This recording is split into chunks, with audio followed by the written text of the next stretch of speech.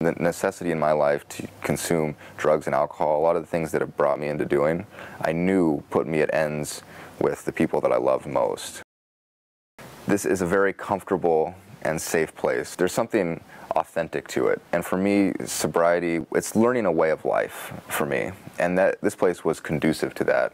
There's a lot of depth here. The people who run this place showed me over and over again through their actions, not their words, that they were more interested in my sobriety than my money. They just wanted me to be sober.